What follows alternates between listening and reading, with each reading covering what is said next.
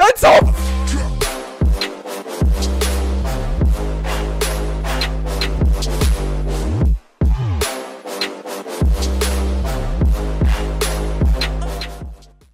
Grüßt euch, dieser verwirrte Minecraft-YouTuber, der ganz, ganz besondere Sachen macht, ist mal wieder da. Ihr kennt Minecraft, jeder von uns weiß, wie dieses Spiel aussieht und wie auch zum Beispiel die Welten aussehen, in denen wir uns befinden. Die sind groß, die sind ziemlich groß, die sind sehr lang und die sind auch sehr breit. Das Problem in der heutigen Challenge ist, dass unsere Welt das Gegenteil von breit ist. Sie ist ein Block breit. Und ich rede nicht von einem kleinen Stück, was ein Block breit ist, sondern ich rede von der kompletten Minecraft-Welt, die nur ein Block breit ist. Euer erster Gedanke wird wahrscheinlich sein, wie möchtest du es schaffen, überhaupt durch ein Portal zu laufen, um ins End zu kommen, in einer ein Block breiten Welt? Das war tatsächlich auch mein Gedanke, als wir diese Challenge konzipiert haben. Das ist nämlich nicht möglich. Deswegen mussten wir uns etwas anderes einfallen lassen und wir haben uns darauf geeinigt, dass ich heute versuchen werde, den Wither zu töten. Und in einer ein Block breiten Welt ist es, by the way, auch sehr schwer, Wither-Skelett-Köpfe zu farmen. In dieses ganze Projekt steckt eine Menge, Menge Arbeit und Zeit. Dementsprechend ist das Ganze, was hier an Aufnahmezeit hineingeflossen ist, mal wieder um die 12 Stunden lang. Wenn ihr das Ganze respektiert und weiterhin solche kranken Projekte sehen wollt, dann lasst unbedingt gerne eine positive Bewertung da, abonniert diesen Kanal, um keine wunderbaren Videos mehr zu verpassen und ich wünsche euch ganz, ganz, ganz, ganz viel Spaß mit diesem Video.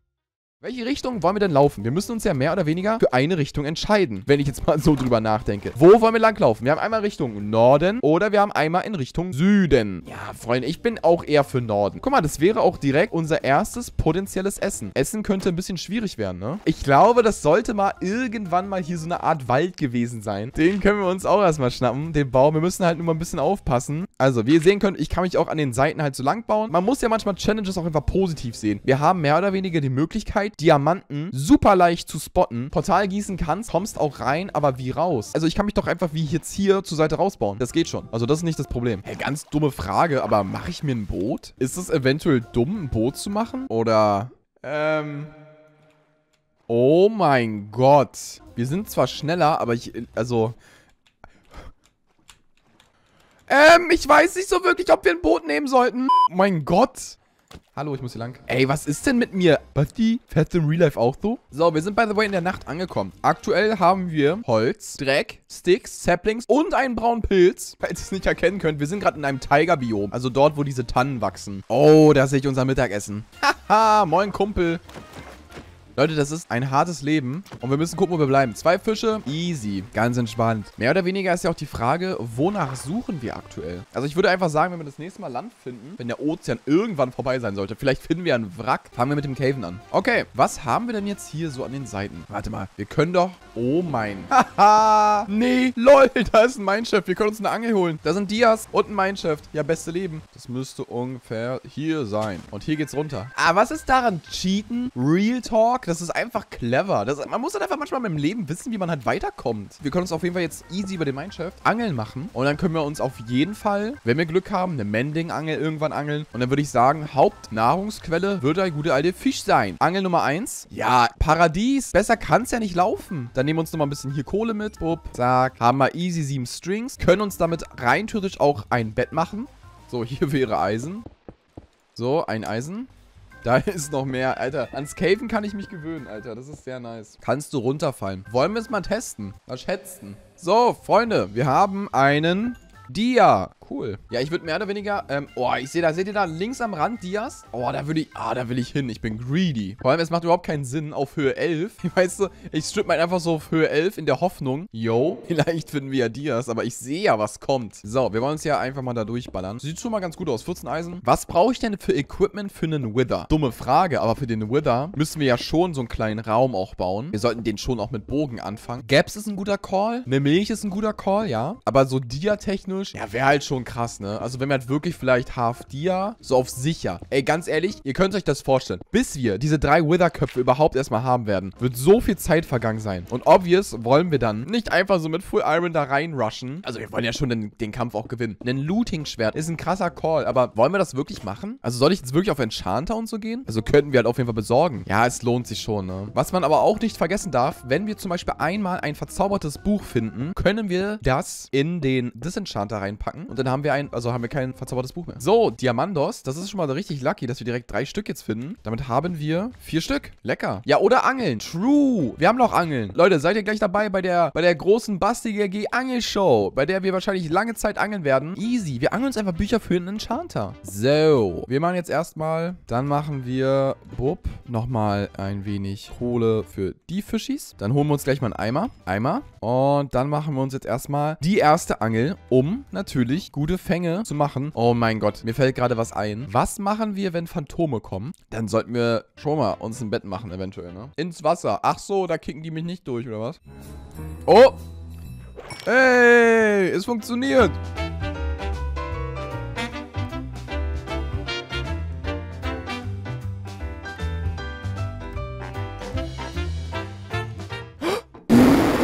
Okay, warte, Moment. Epic Showdown Drop.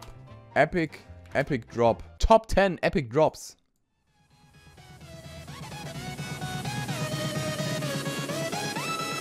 Digga, was ist denn da? Ein nicer Drop. Ah, wobei, egal, wir nehmen den einfach.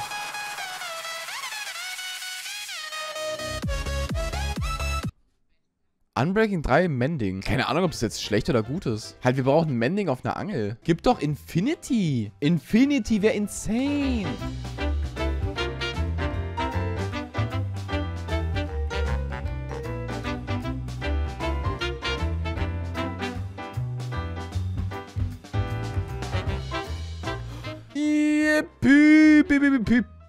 Oh mein Gott, es ist super ärgerlich. Dieses Buch müssten wir jetzt normalerweise in den Grindstone packen. Das heißt, das Enchantment geht verloren. Verloren. Gut, Freunde. Der saftig-knaftigen Unterhaltung. Ah, das tut jetzt echt weh. Ey, damit wir ein normales Buch für den Enchanter haben. Aber ja, wir haben es getan. Wir haben ein normales Buch hinbekommen, ohne eigentlich in einer Welt zu spielen, die tatsächlich uns ermöglicht, Kühe zu finden. Das ist schon was Besonderes. Was wir jetzt brauchen, Leute, sind more und more Dias. Die werden wir uns auf jeden Fall jetzt krallen. Wir können uns ja auf jeden Fall eine Spitzhacke machen. Die brauchen wir. Da hinten ist ein Mineshaft, aber Diamanten sehe ich jetzt hier nicht, ne? Gut, wir bisschen schwimmen. Der Nether ist natürlich auch nur ein Block breit. Voll komisch gerade, dass man jetzt einfach so, jo, wir sind einfach nicht mehr am Angeln. Stell dir mal vor, wir würden jetzt einfach sterben, nachdem wir einfach tausend Jahre ins Angeln investiert haben. Von einfach einem Phantom. Stell dir mal vor, ich muss einfach gegen einen Phantom Water fighten. So, wir checken mal ganz... Stell dir mal vor, wir würden jetzt einfach sterben. Imagine, du stirbst an diesem Fisch. Junge, hätte ich den MLG gehittet. An dem... Ich, nein, ich bin nicht... Ich bin nicht an dem gestorben. Das ist ein Puffy. An dem bin ich gestorben. Dicker, Okay, dann machen wir nochmal Timeset Zero. Und ich sage, ähm, ja, es kann mal vorkommen, dass man gegen einen Fisch stirbt. Oh, das sieht ja nach einem chilligen Biom aus, um anzufangen. Oh, ich habe übertrieben Bock. Alright, Leute, der Jump'n'Run-Experte muss man zeigen, was er drauf hat. So. Selbst wenn ich den Sprung schaffe, bringt es mir halt null. Okay, wir bauen nochmal den Gravel ab und stacken uns mit Gravel hoch. Okay, schon mal ganz gut, dass hier wenigstens mal ein bisschen Holz ist. Was wir als nächstes brauchen, ist Essen, ein bisschen Equipment und den Rest werden wir nochmal sehen, wenn nicht ein Puffy kommt. Ach, ihr müsst da gar nicht mit eurem Puffy jetzt nerven. So, Eisen, lecker. Was wir als nächstes dann bräuchten, immer mehr Eisen natürlich, aber auch gerne einen Mineshaft. Gut, dann haben wir uns ein bisschen Eisen geholt. Lass uns erstmal wieder nach oben gehen. Ist der Nether auch ein Block breit? Mann, Leute, okay, wir können ja nicht übertreiben, als ob der Nether auch ein Block breit ist. Doch, ist er. Okay, Bro, du bist mein Mittagessen. So, können wir wenigstens noch sprinten. Aber bis jetzt sieht es ja auch nochmal relativ schwierig aus. Schau nach Dias. Ja gut, ich muss halt echt öfter gucken. Da sind Dias. Da, drei Stück. Die müssen wir uns eigentlich krallen. Da sind auch drei. So, Lapis ist auch sehr gut. Das kann, glaube ich, auch nochmal selten werden sonst. So, Diamanten. Sehr gut. Also Dias dauert halt nicht so lange ranzubekommen, deswegen auf Looting zu gehen, nicht so dumm. Mm. Ja, da sind wieder drei Dias und ein Mineshaft. Let's go. Aber ich sehe keine Cobwebs. Darfst du fünf benutzen? Ja, klar. Also, wir dürfen uns halt auch zur Seite rausbauen oder so. Das finde ich aber jetzt auch null verwerflich, weil dafür dauert halt alles einfach super viel länger. Ich kann mir ja eine Dia-Spitzhacke eigentlich machen. Brauche ich ja dann eh. Ich noch ein bisschen runter. Vielleicht, wenn wir die Strings halt schon nicht über den Mineshaft bekommen, dann über vielleicht eine Spinner. Oh, das hat sich selbst erledigt. Ja, dass unter mir Dias sind, weiß ich. Deswegen will ich ja hier hin. Mineshaft brauchen wir für, um dann eine Angel zu holen. Und mit der Angel angeln wir uns Fische und die essen wir. Und da ist ein Mannschaft. Direkter Lamente. Unter uns. Sehr gut. Und da ist Zuckerrohr. Als ob. Wie viel Glück, dass wir genau auf Zuckerrohr landen. Boop, boop, boop, boop. Imagine, da ist jetzt einfach eine Kiste. oh nein, bitte don't let me down, Alter. Okay, da ist Non-String. Perfekt. So. So, wir haben auf jeden Fall eine Angel. Das ist schon mal etwas. Damit können wir uns auf jeden Fall eine Menge, Menge Fischis holen. Und was auch sehr, sehr gut wäre, wäre an sich natürlich ein Buch. Nehmen aber auch gerne, gerne einen Infinity-Bogen, eine Luck of the Sea, Mending-Angel, alles, was es im Angebot gibt. Und natürlich nehme ich auch gerne Essen an. Essen kriegen wir ja durchs Angeln auch. Gut, solange müssen wir jetzt, also da müssen wir jetzt auch kurz durch. Wir müssen jetzt hier kurz unsere kranke Basis machen und wir angeln ein bisschen. Zeig mal kurz bitte. Wir sind aktuell bei 0 und minus 7500 ungefähr. Ähm. Hat gerade nicht noch jemand gesagt, ich soll nicht so viel träumen, wenn ich über mein Infinity rede? Ja, okay, ich würde sagen, den Infinity-Bogen haben wir schon mal gesichert, weil, Leute, das ist insane, weil wir haben logischerweise nicht die Möglichkeit, so viele Pfeile ranzubekommen. Jetzt mal bitte direkt eine Mending-Angel. Hä? Was ist denn das? was ist denn das für eine Angel? So, Junge, das ist die krasseste Angel der Welt. Ja, moin. Okay, also ich glaube, den Bogen, ähm, auf den wir Infinity packen können, haben wir dann auch schon mal. Sehr nice. Was kommt als nächstes? Jetzt kommt dann for real so eine Mending-Angel. Hm, okay. So, wir werden uns jetzt einfach ein paar Fischis ranholen, damit wir mal ein bisschen was zu essen haben. Und ansonsten äh, kümmern wir uns als nächstes um den Enchanter. Wir wollen ein Looting-Schwert haben, um dann halt die Wither-Köpfe tatsächlich stabil zu farmen. So, was machen wir in Dia-Stuff technisch, Leute? Wir können uns erst einmal ein Schild machen. Was machen wir uns für Rüstung? Wir brauchen zwei Dias für den Enchanter. Dann machen wir uns ein Dia-Schwert und dann haben wir noch 14 für Rüstung über, oder was? Chest und Schuhe. Ich glaube, ich bin eher für Hose und Schuhe, weil dann haben wir noch drei für irgendein Tool über, wenn wir es brauchen. Ich würde es lieber so machen.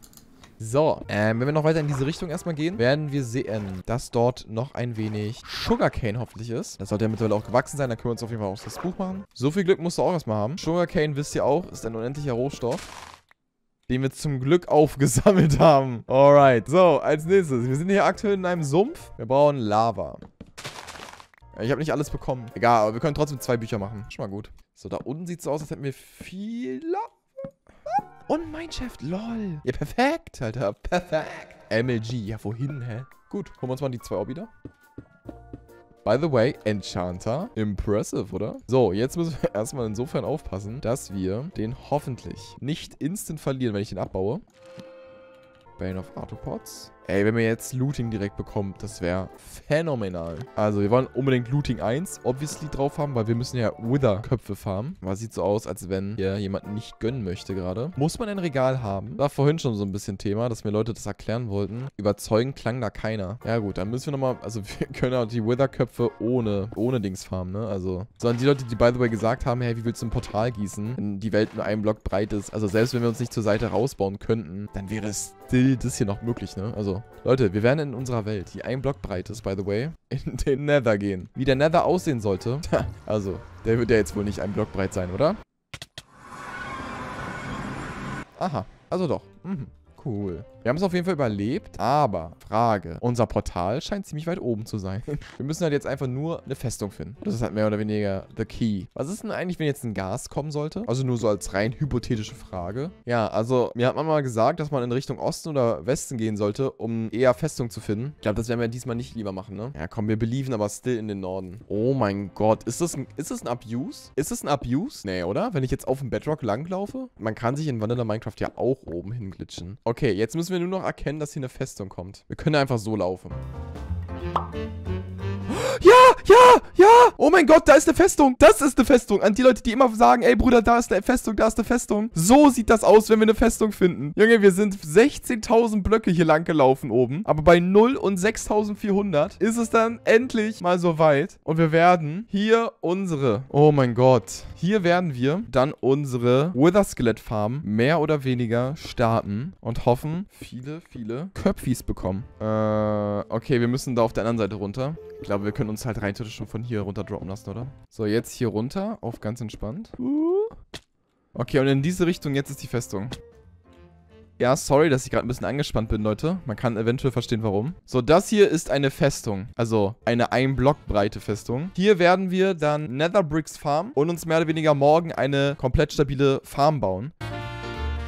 Und was wir jetzt halt machen werden, ist, wir werden uns jetzt Netherbrick-Blöcke farmen, um am Ende sehr, sehr stabil, also hoffentlich, um jetzt am Ende für uns sehr, sehr stabil eine kleine Plattform zu bauen, auf der wir dann hoffen, Wither-Skelette spawnen zu lassen. Mach ein Dach, weil Wither-Skelette drei Blöcke hoch sind. Einfach ein Dach um mich herum, meinst du? Und dann lasse ich die einfach so um mich herum einfach spawnen. Denke mal, das klingt sehr vernünftig. Also baue ich das jetzt einfach auf dieser Höhe und dann hoffen wir aber, dass welche spawnen, ne? Nur, was ist die Drop-Wahrscheinlichkeit ohne Looting, so einen Kopf zu bekommen? Schon sehr gering, oder? 2,5% ohne Looting? Geht ja eigentlich. Real Talk geht, oder? Dann haben wir, wenn wir 100 Stück getötet haben, 2,5 Köpfe.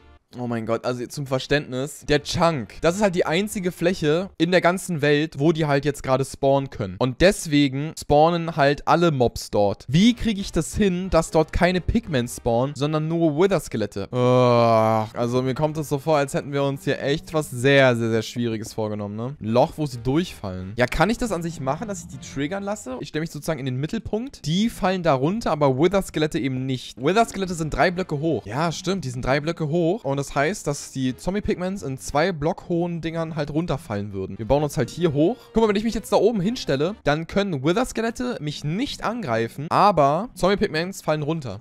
Okay, ich bin ready. Aktivierung, bitte. Vor allem werden hier nicht mal so wenig spawnen, denn das ist mehr oder weniger die einzige größere Plattform, wo die spawnen können. Die Festung ist super small. Das heißt, es werden hier so viele Wither-Skelette wohl spawnen. Wegen Banco, der spawnt die. Leute, ihr müsst es verstehen. Das ist hier mehr oder weniger am Ende, ich habe keine Ahnung, was Banco da gecodet hat. Aber das ist halt generell eine simulierte Welt, so oder so. Deswegen ist das Spawning halt sowieso ein bisschen schwierig. Ihr denkt auch, dass gerade Banco mit so Wither-Spawn-Eggs im Game Mode 3 steht und die einfach so manuell spawnt. Ich hätte nicht gedacht, dass das so, also dass das halt so funktioniert, ne?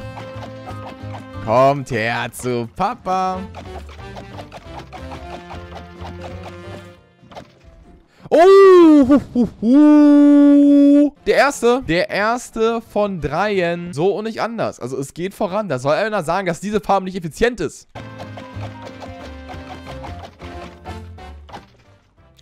Oh, oh, oh, oh. Jetzt mal ganz ehrlich, wie lange fahren wir jetzt? Und wir haben jetzt schon zwei Stück. Ohne Mist, das war früher mal seltener. Ohne Mist, die haben die Chance hochgeschraubt, ne? Oh nein, ihr werdet, nein. Safe werdet ihr denken, dass ich die Chance... Haben wir nicht.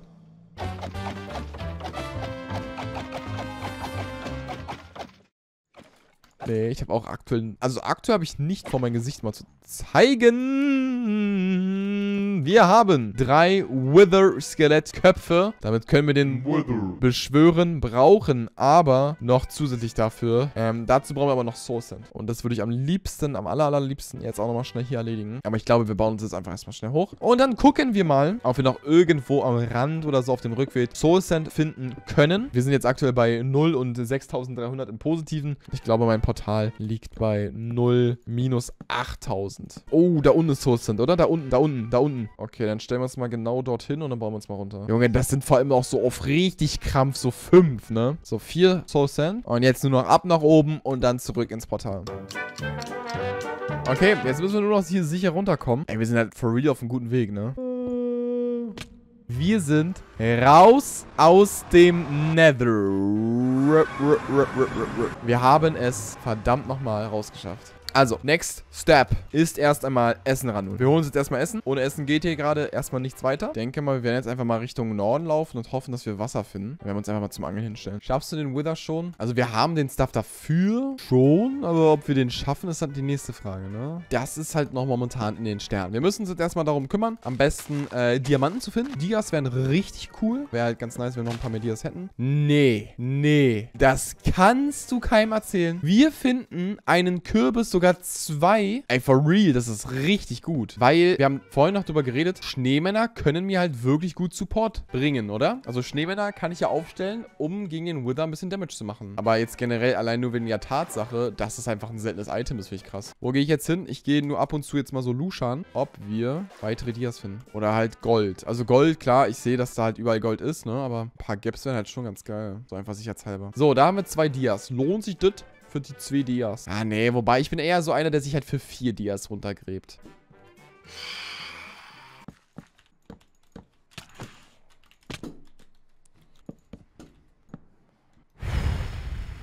Ja, ich bin wach. Und ihr? Ja, also by the way, Phantome können auch kommen. Okay, wir warten einfach bis Tag wird dann verbrennt er ja eh. Wir machen jetzt, by the way, einfach mal den jetzt. Ähm, denn wir haben ja jetzt, glaube ich, früh genug gemerkt, dass es zeittechnisch alles ein bisschen eng wird. So, Lol, hier ist ein Skelett gestorben. Oh mein Gott. Leute, wir haben den Infinity-Bogen. Infinity Powerbogen. Putz, putz. Let's go, Mann. Geil. Sehr geil. Hab mal so einen Bogen in so einer Challenge. Und jetzt vor allem mit Pfeilen. So scripted. Das Game will einfach, dass die Challenge vorbei ist.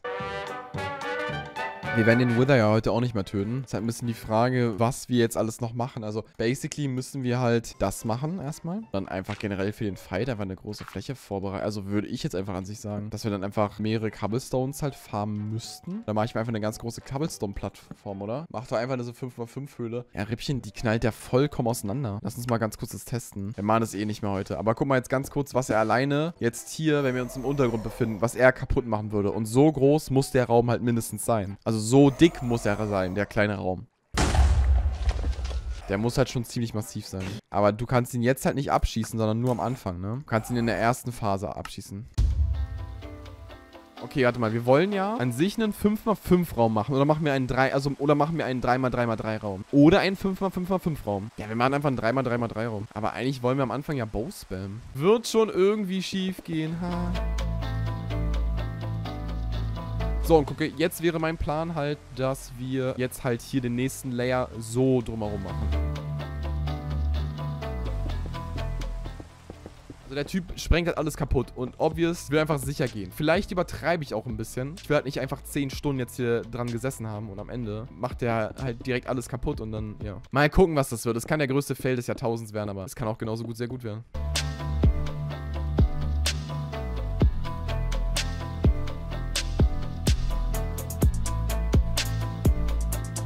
Wasser. Ja, falls wir eventuell runtergekickt werden, dass wir tatsächlich irgendwie nochmal abgesaved sind. Und dann machen wir einen auf Skywars-Spieler und dann Attacke. Wir werden das Vieh jetzt einfach spawnen und hoffen, dass wir einfach... Wir sind jetzt einfach besser als er. Wir sind einfach jetzt besser und stabiler als der Wither. Der Wither. Was ist der Wither denn überhaupt für ein Mob? Ganz ehrlich, mir egal. Die ersten 50% seiner Health Bar wir mit einem Bow spammen. Wir werden aber kaum Platz haben. Wir müssen erstmal gucken, dass wir überhaupt die erste Explosion dort überleben. Deswegen, ich überlege, ob ich den halt jetzt hier spawne und instant hier irgendwie so zurückgehe. Und dann in diesen Raum rein reingehe. Weißt du, was ich meine? Okay, Leute, wir müssen jetzt hier durch. Wir haben uns das selber, wir haben uns das an, an sich selber eingebrockt. Nach elf Stunden in dieser Einblock-Challenge werden wir jetzt gegen den Wither fighten. Let's go!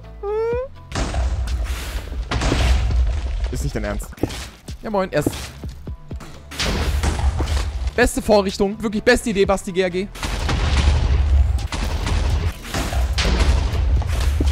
Kann nicht mehr. Ich muss, ich muss Melee, ich muss Melee. Ich muss in die Melee. Chuck. Ähm, Leute.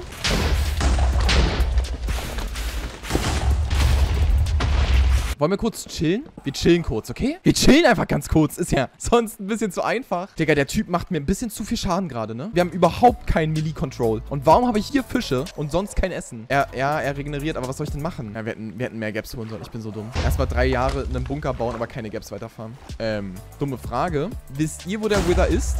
Ah.